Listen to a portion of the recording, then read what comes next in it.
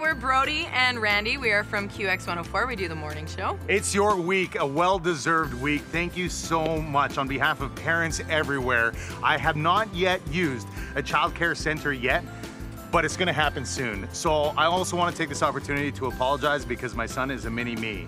And buckle up, Ooh. because if you're gonna uh, end up uh, caring for my child, as you always do for so many children, you're gonna have a lot of work to do. Yeah, you thought you were busy and doing a lot now? No, nothing. Thank you on behalf. I don't have children, but I under I, I don't understand what you do, but I appreciate it on behalf of families and parents and children and just all the amazing work you do. Thank you. And once again, on behalf of thank you.